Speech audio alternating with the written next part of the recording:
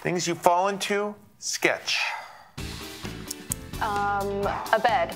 Uh, uh, you fall into A chocolate. a chocolate bar, a, a, a mouse trap.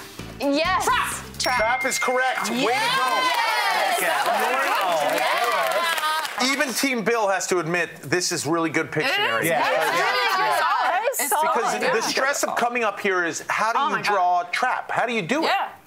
Like my mind would have been like uh, you fall into a hole, Oh, or when someone you're dating tries to trap you into a relationship, and then it's not going well, and then you're trapped in that Hey, relationship. Jeff, yeah, yeah. Oh, okay, sorry, sorry, thanks. I don't know what I was thinking. care. Weekdays at 4 and 5:30 on WBNX.